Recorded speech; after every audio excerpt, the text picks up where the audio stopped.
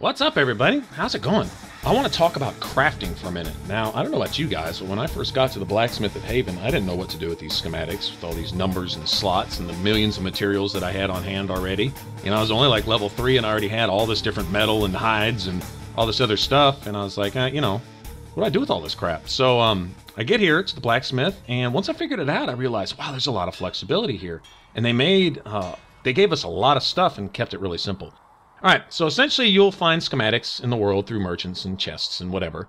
All right, and uh, they can be for armor, armor upgrades, weapon, weapon upgrades, potions, yada yada yada, different stuff. Okay, so here um, I have a schematic, luckily, for the sake of the video, for a set of armor and an upgrade.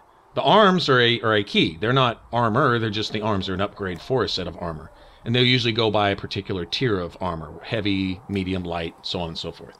Okay, in this case, the top slot here, um, it says it requires seven materials. I don't see when I put any materials in that that I actually get a buff, and how you can tell is you look at the top right.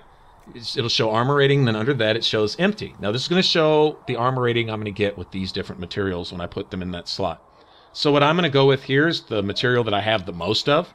Maybe uh, eventually that primary slot will give me some kind of added bonus, but uh, for right now, it appears to be just the amount of stuff you need to make it. Now, the bottom slot is your actual buff. It's your actual bonus, okay? And depending upon what you put in it, well, what kind of slot is it? Is it? It's a defense slot. You look down at the bottom left. It shows you what it'll give you if you put that particular material. Look at the top right. It shows you your final bonus. Now, the key here is, if you look at your schematics, is down at the bottom, if it says um, plus 1 of something for, say, your defense slot, and it says it requires four of them. When you put those four items in there, it's going to give you 4%. It's going to multiply by the number of items. So schematics that require more items are actually better because they're going to give you an added bonus. They're going to multiply whatever percentage bonus it gives you by that number. Okay. So uh, here in this case, I, I liked the maximum health for my tank. Cass here, playing on Nightmare. It's definitely good for her to be able to take an extra hit or two. Okay, so that's what I went with. And um, in the top slot, I just put anything in there. I didn't see it making much difference. So apparently, that's just the materials you need to make it. And then any extra slots you have under that could be varied slots. So it's a good idea if you have several different schematics to go in and look at what slots are available and how you want that character to play. You know, pure defense, pure offense, you know, or whatever. Um, you want it, you want elemental resistances and stuff you know, you can go that way with it. So um, once you've made your item on the PlayStation, you hit the square button. If you look down at the very bottom, it says rename. Right now on the Xbox, I believe that would be the X button, the inside button. I don't know, but um, it'll show you down there at the bottom, and you can go in and rename all your gear and call it whatever you want. You know, super mail, super plate mail of awesome defensiveness or something. You know, just any any ridiculous thing that you want to call it, just for funds, and also to keep it from getting lost in your inventory should you be switching out gear and stuff like that, you know, that you don't accidentally put something into your junk pile um, that you don't want to lose. So you can custom name everything that you make, okay?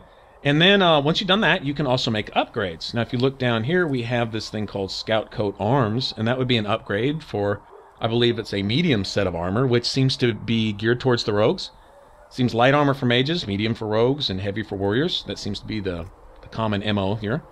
All right, so we look at this and we have two different kinds of slots. We have defense and we have defense, all right, in both. So whatever materials we put into this, we'll go down to the very bottom and look at defense. So what's available to us? If we had several schematics, we might find one that had uh, an offense and a defense. And if that's what we wanted, we would, go, we would go with that schematic instead.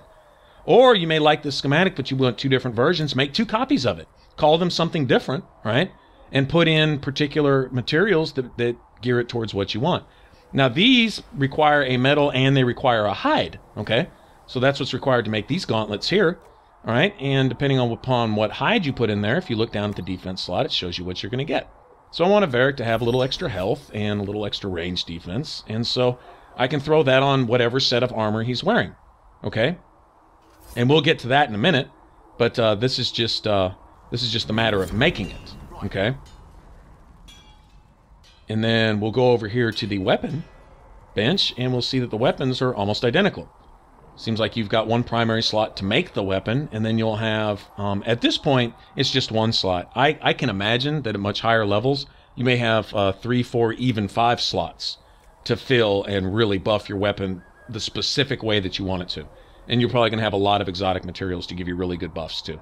But um, in this case, it looks like uh, that top number is just simply um, to add damage and just make the weapon in, in and of itself. All right.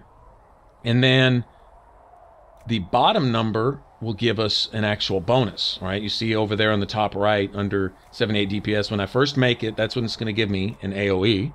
And I believe that would probably be a base um, damage stat to go with any AoE attacks that I do, like, for example, uh, um, Mighty Blow or something like that, being a warrior. Okay. And then this bottom slot, it says I get an offense slot, which makes sense. It's a weapon. Right. If you look down at the bottom left, all right, it says uh, with let's see, with this I can get a chance to stagger. With this I can get uh, plus two damage to guard.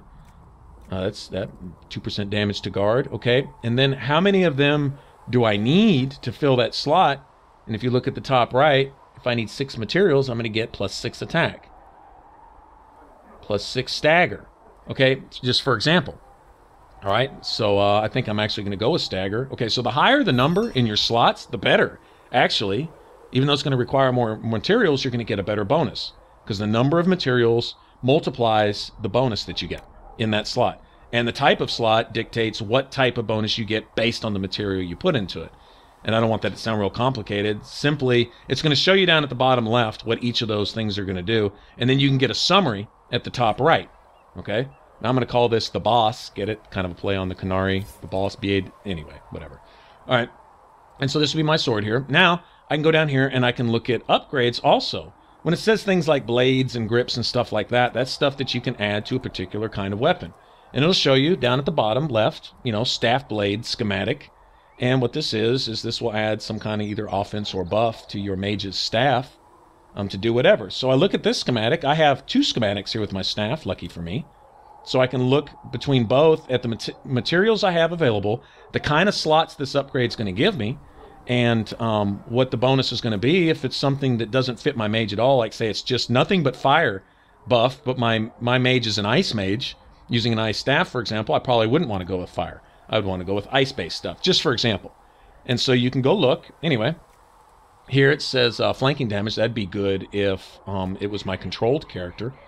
But here we have just critical damage, and, uh, you know, whichever. I don't know. Maybe if I can keep my mage away from the fight and draw attention away, then he will get, uh, basically that's damage bonus when attacking an enemy anywhere from, uh, besides from the front, for example. Honestly, that would be much better for a controlled character. But, uh, there we go. All right, so I can take that, and I can put it on, uh, my character's staff, and then if I am controlling my character, I can go get behind the enemy and try to stay out of the way and hopefully not have their attention all the time. All right, we see uh, upgrades for Bianca and, and all kinds of stuff. So you can make those, and then what you do is you come over here and you have um, a way to modify weapons and armor. Now here for the weapons, that uh, staff upgrade we just made, once I've decided exactly what buffs I want to put on a particular staff, remember I might want to keep those buffs in line with what the staff actually does and what my mage is doing. All right, then I take that and um, right here, I just simply add that and it shows you a summary at the top right of what it's going to give us. Okay, and that's all the stats, top right, of what this staff is going to do for me. Extra strength, extra flanking damage bonus, extra cunning and magic that were already built in, and it's all added in there, right? And then armor's the same way. So here I fumbled around just a little bit, but I eventually found um, Varric and his set of armor. Okay, here we go. And then these are what I have. I have one that I made called Still See the Hair just playing around. Get it, Chester? Anyway. All right, so I can take that and I look at the top right, exactly what bonuses I want to give him, right? And then I just add that to his armor. And that's good. Now I can come in here and take it off just as easily and switch it out with another upgrade. Say, once you become familiar with the game and you know one mission you're going to need, say, a lot of ice defense, another mission you're going to need a lot of lightning defense or range defense or something. Well, you can gear particular upgrades for that particular thing and have them on hand and then go to a blacksmith bench and switch them out. Okay? If that makes sense. And that's it. That is uh, basic crafting 101 what to do with the schematics and how to figure out how to gear them towards your character. I hope this helped. Hope it wasn't uh, too babbling. All right, appreciate you watching. And if you want to catch up on more Inquisition, hit the top box. For all my videos, hit the bottom box. If you want to subscribe, smash on that button right there over my head. Really appreciate it. Remember to comment and like and all that good stuff. I'll catch you guys later. Bye bye.